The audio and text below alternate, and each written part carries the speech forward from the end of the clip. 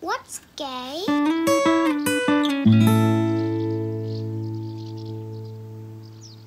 What's gay?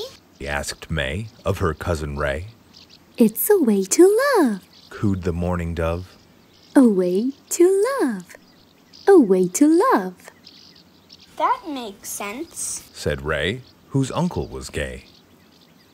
Uncle Gary and Uncle Barry are going to marry, and I'm going to carry their rings that day. Your Uncle Barry and your Uncle Gary are gay? asked Mae.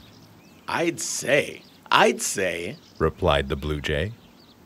Who else is gay? asked Mae. Who else might love this way? I can't say, said Ray. but the hummingbird may. You're made that way. They heard the hummingbird say. And not just people like your Uncle Barry, but animals too, like whales and dogs and a moose named Larry. So boys and boys play house? asked Mae.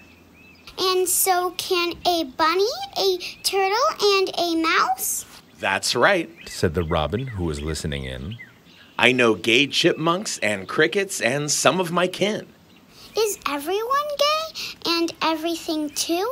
Am I gay? Is Ray gay? And how about you? I'll answer that. The cardinal sang.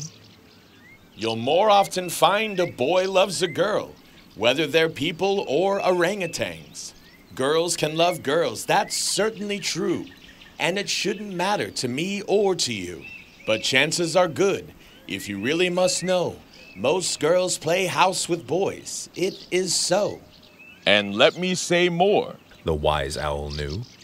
Some creatures play house with boys and girls too.